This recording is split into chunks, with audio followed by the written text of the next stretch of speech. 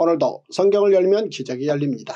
모든 성경 이야기에는 첫째 하나님의 법, 둘째 하나님의 극률, 셋째 하나님의 기적이 들어있습니다. 1년 1독 통독 성경 오늘 범위는 이사야 21장에서 24장까지입니다. 이사야 21장은 바벨론에 대한 심판의 말씀입니다. 그리고 이어지는 이사야 22장은 남유다에 대한 심판의 말씀입니다. 당시 남유다는 아수르를 막기 위해 애국과의 동맹 정책과 함께 예루살렘을 요새화하고 있었습니다. 즉 군사 강화 정책을 시행한 것입니다. 예루살렘 성을 요새화하기 위해서는 성벽 곁에 허름한 집을 짓고 살던 가난한 사람들의 집을 다 철거해야 했습니다. 그 때문에 가난한 자들은 갑자기 삶의 처소를 잃고 전쟁 준비에 시달리게 된 것입니다. 그 모습을 보신 하나님께서는 그 모든 노력이 허사가 될 것이라고 말씀하십니다. 히스기야 왕이 진정으로 해야 할 일은 예루살렘 성을 보수하는 것이 아니라 회개의 모범을 보이고 공동체가 하나 되게 하여 하나님을 의지하는 것입니다. 이어지는 이사야 23장은 두로에 대한 심판이 선언되고 있습니다. 그리고 이사야 24장은 하나님을 떠난 자들에게는 심판이 임하고 하나님께 돌아온 자들에게는 구원의 찬미가 울려 퍼질 것이 예언되고 있습니다. 자 이제 오늘의 말씀 이사야 21장에서 24장까지 먼저 읽겠습니다. 제 182일 이사야 21장 해변 광야에 관한 경고라 적병이 광야에서 두려운 땅에서 내게 회오리 바람같이 몰려왔도다. 혹독한 묵시가 내게 보였도다. 속이는 자는 속이고 약탈하는 자는 약탈하도다. 엘람이여 올라가고 메대여 애워싸라. 그의 모든 탄식을 내가 그치게 하였노라 하시도다. 이러므로 나의 요통이 심하여 해산이 임박한 여인의 고통 같은 고통이 나를 엄습하였으므로 내가 괴로워서 듣지 못하며 놀라서 보지 못하도다. 내 마음이 어지럽고 두려움이 나를 놀라게 하며 희망의 서광이 변하여 내게 떨림이 되도다. 그들이 식탁을 베풀고 파수꾼을 세우고 먹고 마시도다.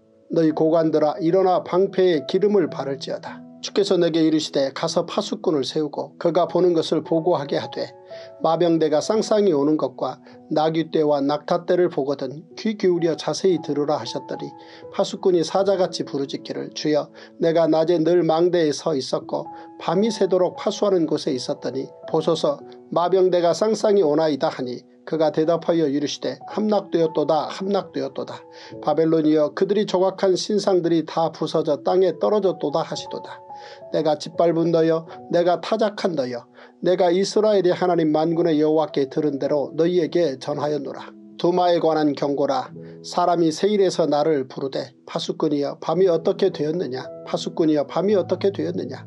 파수꾼이 이르되 아침이 오나니 밤도 오리라. 내가 물으려거든 물으라. 너희는 돌아올지니라 하더라. 아라비아에 관한 경고라 드단 대상들이여 너희가 아라비아 수풀에서 유숙하리라.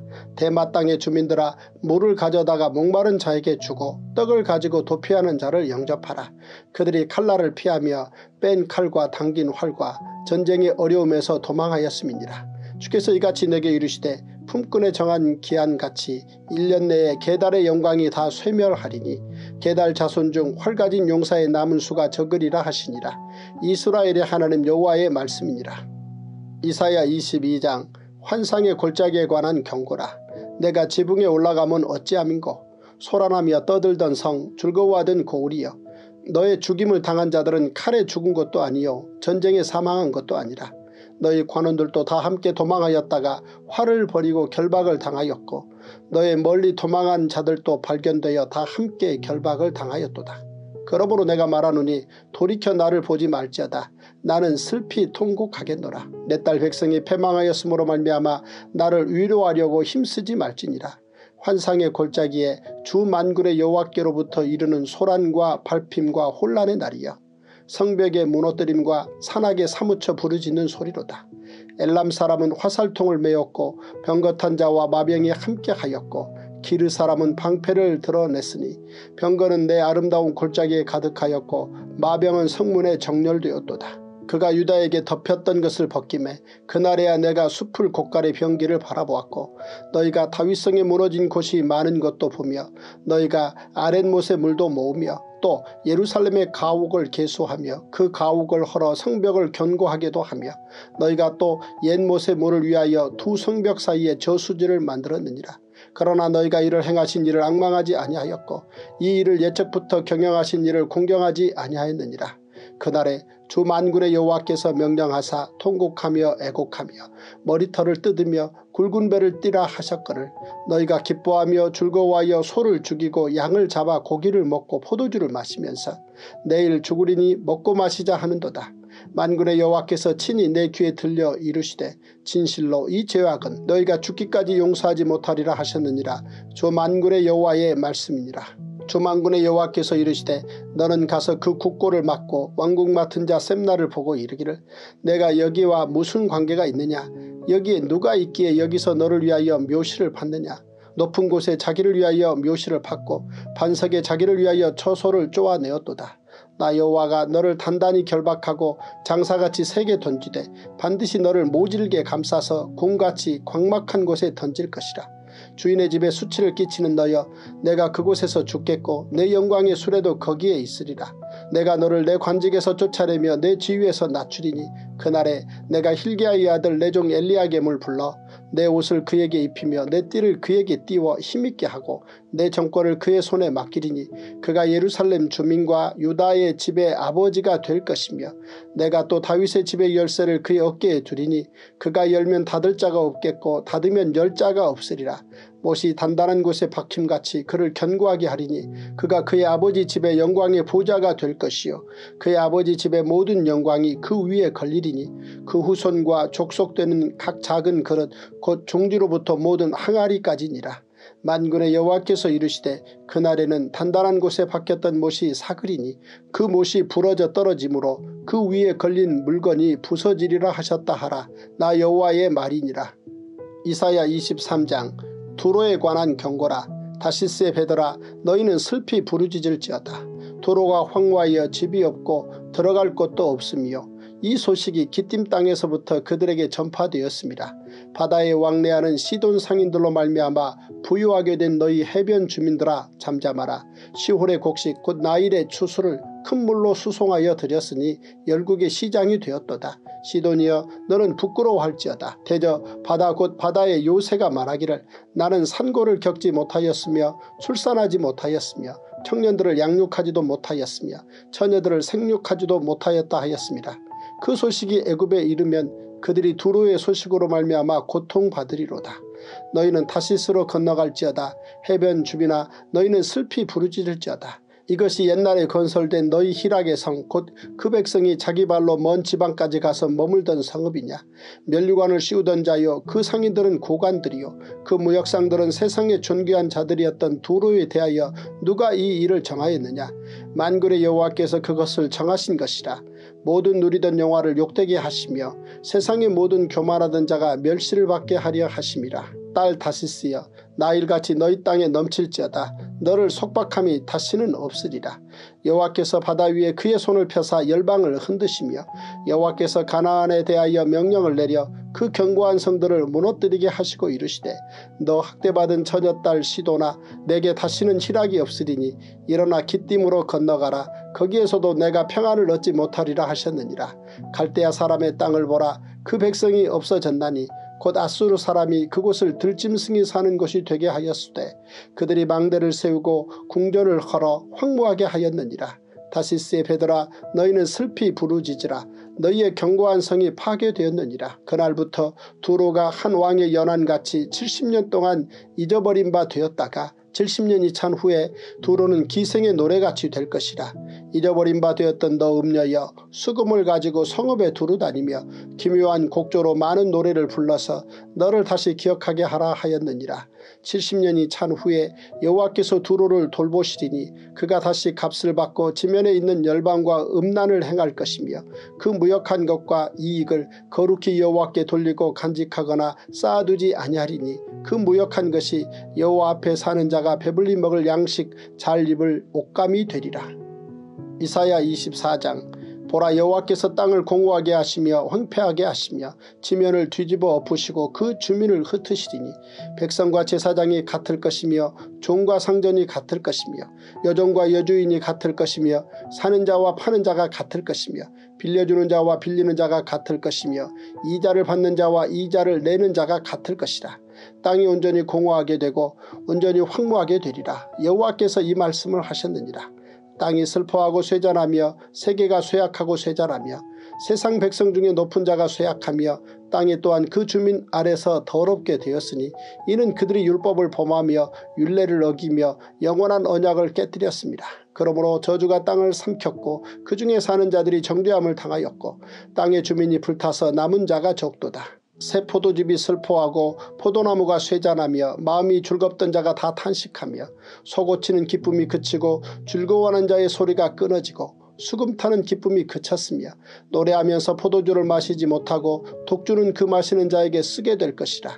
약탈을 당한 성읍이 허물어지고 집마다 닫혀서 들어가는 자가 없으며 포도주가 없으므로 거리에서 부르짖으며 모든 즐거움이 사라졌으며 땅의 기쁨이 소멸되었도다.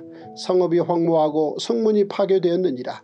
세계 민족 중에 이러한 일이 있으리니 곧 감람나무를 흔듦 같고 포도를 거둔 후에 그 남은 것을 주음 같을 것이니라. 무리가 소리를 높여 부를 것이며 여호와의 위엄으로 말미암아 바다에서부터 크게 외치리니 그러므로 너희가 동방에서 여호와를 영화롭게 하며 바다 모든 섬에서 이스라엘의 하나님 여호와의 이름을 영화롭게 할 것이라. 땅끝에서부터 노래하는 소리가 우리에게 들리기를 의로우신 이에게 영광을 돌리세 하도다. 그러나 나는 이르기를 나는 쇠잔하였고 나는 쇠잔하였으니 내게 화가 있도다. 배신자들은 배신하고 배신자들이 크게 배신하였도다. 땅의 주민아 두려움과 함정과 올무가 내게 이르렀다니 두려운 소리로 말미암아 도망하는 자는 함정에 빠지겠고 함정 속에서 올라오는 자는 올무에 걸리리니 이는 위에 있는 문이 열리고 땅의 기초가 진동합니다. 땅이 깨지고 깨지며 땅이 갈라지고 갈라지며 땅이 흔들리고 흔들리며 땅이 취한 자같이 비틀비틀하며 원두막같이 흔들리며 그 위에 죄악이 중함으로 떨어져서 다시는 일어나지 못하리라. 그날에 여호와께서 높은 데에서 높은 군대를 벌하시며 땅에서 땅의 왕들을 벌하시니 그들이 죄수가 깊은 옥에 모임같이 모이게 되고 옥에 갇혔다가 여러 날 후에 형벌을 받을 것이라. 그때 달이 수치를 당하고 해가 부끄러워하리니 이는 만군의 여호와께서 시온산과 예루살렘에서 왕이 되시고 그 장로들 앞에서 영광을 나타내실 것입니다.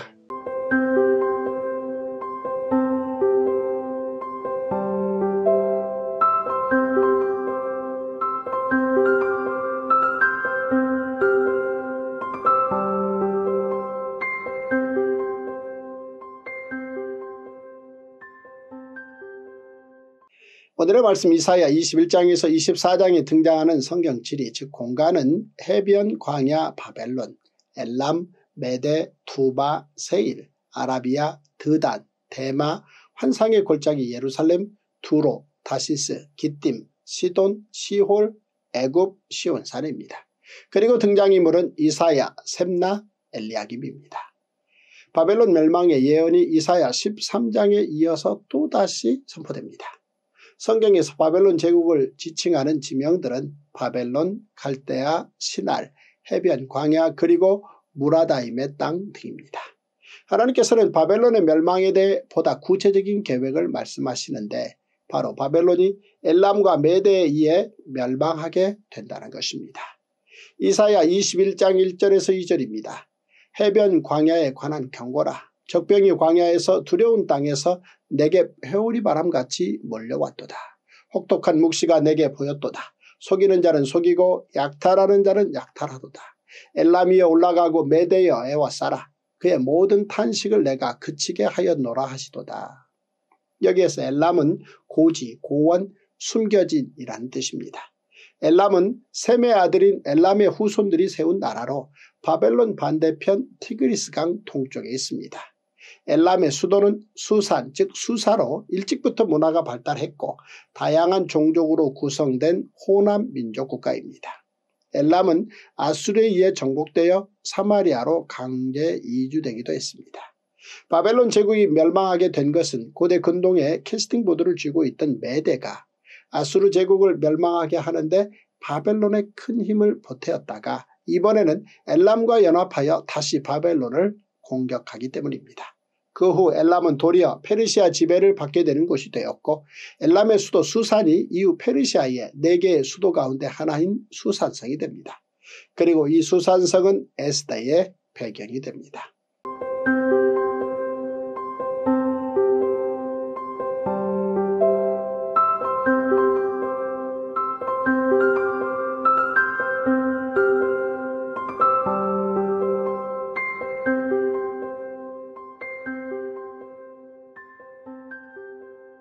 캐스팅 보트를 쥐고 있던 메데는 메소포타미아 북동쪽 카스피해 남쪽에 있으며 해발 약 900m의 고원지대에 있는 나라로 오늘날 이란의 북서 지역입니다. 아수르에 의해 멸망한 북이스라엘 백성들이 포로로 끌려가 메데 땅에 살기도 했습니다. 메데는 키악사레스 2세 때 바벨론과 동맹을 맺어 아수르를 멸망시켰으나 이후 고레스의 페르시아 제국에 합병됩니다. 그 당시 바벨론에 대한 멸망 예언이 선포된 것은 상상할 수도 없는 일이었습니다. 그런데 한 번도 아니고 두 번씩이나 선포되는 바벨론의 멸망 예언은 결국 심판이 임한다는 것을 의미합니다. 하나님께서 이사야 선지자를 통해 바벨론 제국의 멸망을 이렇게 미리 예언하게 하신 것은 아직 바벨론 제국에 의해 남유다가 망하지도 않은 상태이지만 결국 하나님의 세계 경영 계획은 바벨론 제국을 남유다를 치는 막대기로 사용하셔서 끝내 남유다를 모든 민족을 위한 제사장 나라로 쓰시겠다는 뜻이었습니다. 이후에 보면 하나님의 말씀대로 바벨론 제국은 BC 539년 페르시아 제국의 고레스 즉 키루스 2세에 의해 멸망합니다. 이때 하나님께서는 이사야 선지자를 통해 두마에 대한 경고를 말씀하십니다. 이사야 21장 11절에서 12절입니다. 두마에 관한 경고라. 사람이 세일에서 나를 부르되 파수꾼이여 밤이 어떻게 되었느냐 파수꾼이여 밤이 어떻게 되었느냐 파수꾼이 이르되 아침이 오나니 밤도 오리라 내가 물으려거든 물으라 너희는 돌아올지니라 하더라. 여기에서 두마는 에서의 후손들인 에돔족을 가리킵니다. 에돔족은 세일산에 거하면서 큰 민족을 이루었습니다.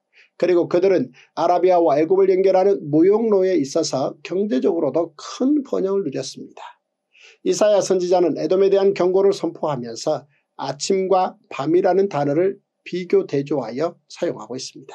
이것은 아침이 오고 밤이 오듯 그들의 앞날이 밤처럼 어두울 것을 예언한 것입니다.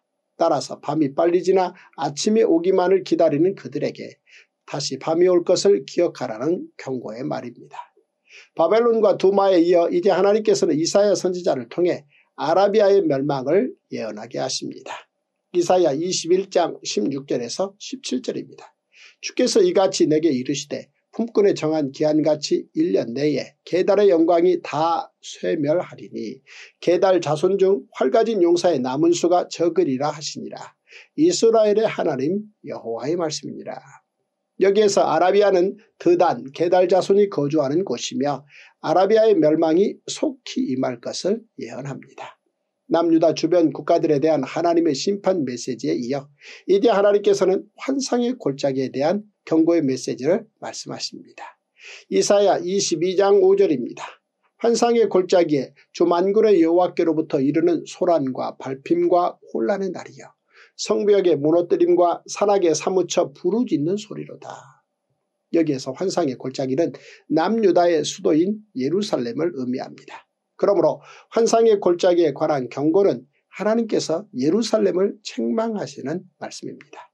예루살렘이 하나님께 책망받는 이유는 남유다가 하나님을 경외하지 않고 인간의 힘만 의지했기 때문입니다.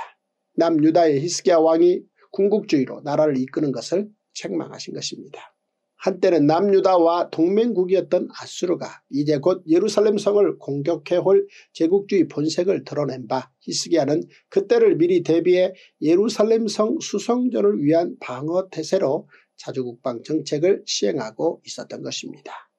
환상의 골짜기 예루살렘이 하나님께 책망받는 또 다른 이유는 회개하지 않고 계속해서 방탕하게 살기 때문입니다.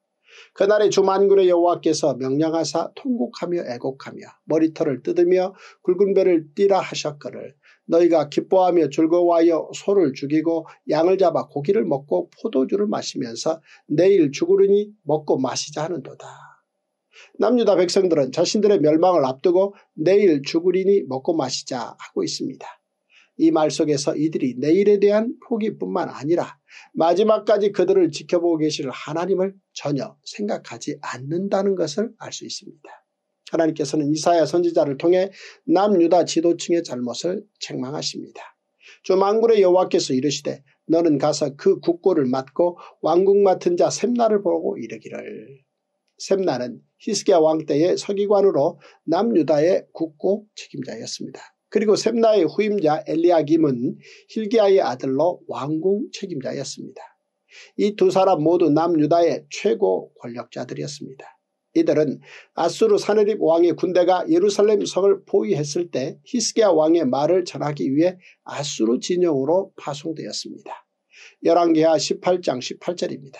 그들이 왕을 부름에 힐기야의 아들로서 왕궁의 책임자인 엘리야김과 서기관 셈나와 아삽의 아들 사관 요아가 그에게 나가니 그리고 이들은 히스기야 왕의 말을 전하기 위해 이사야 선지자에게 파송되기도 했습니다. 열왕기하 19장 2절입니다.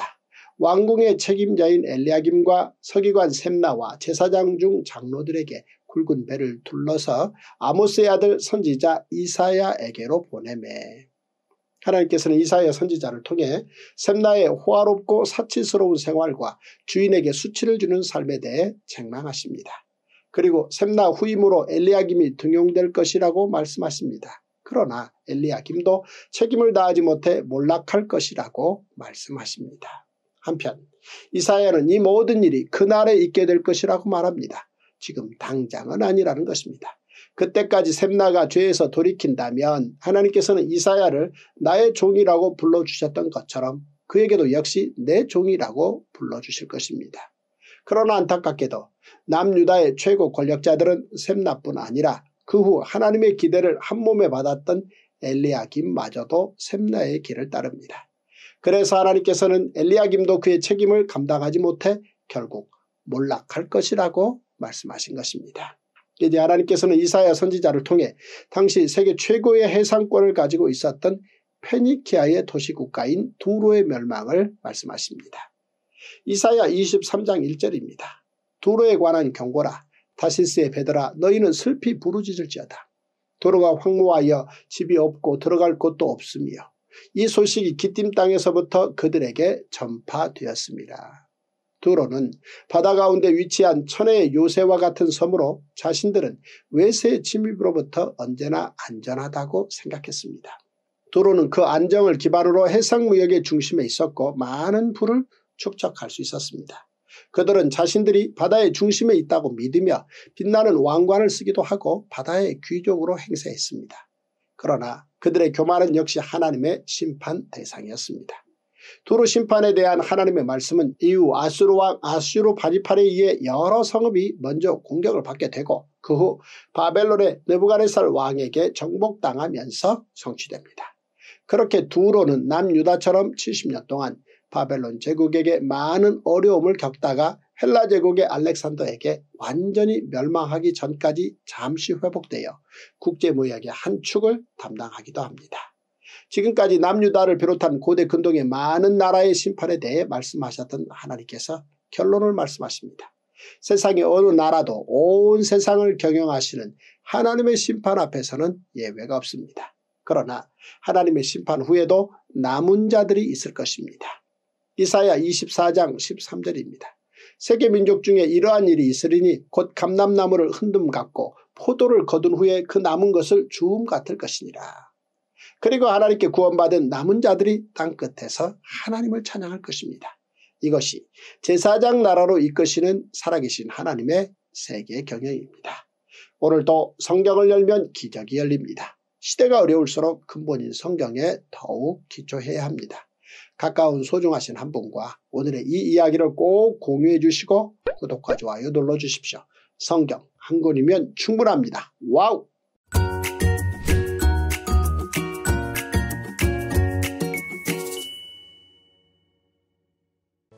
히말라야 2만여 개 마을의 복음화를 위한 에베레스트산 선교훈련센터 건립에 여러분의 기도와 한구자 동참을 부탁드립니다. Dr. James O. Davis, the founder and president of Global Church Network, has repeatedly said, For my entire life, I've heard about the underground church in the Middle East, but now it is time to hear about the upper ground church in the Himalayan mountains.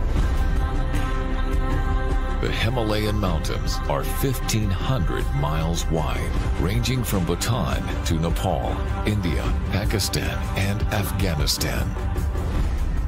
There are more than 20,000 villages in the higher altitudes that have never had a local church in them. Mount Everest Training Center. The Mount Everest Training Center will be located in Salokambu, Nepal at the 8,000 foot level. Salokambu has a population of more than 110,000 people. The training center is just 7 miles from the Everest Base Camp at 17,500 feet and 15 miles from Mount Everest Peak, which is at 29,032 feet. In addition to training leaders during the week, the Mount Everest Training Center will serve as a phenomenal church on the weekends.